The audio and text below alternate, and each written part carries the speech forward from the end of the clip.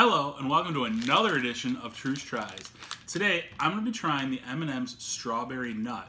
So this is a limited edition. It's not exactly one of the flavors of America, but I feel like it should be.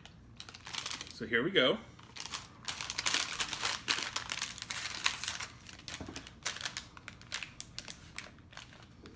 Oh, this does not smell good.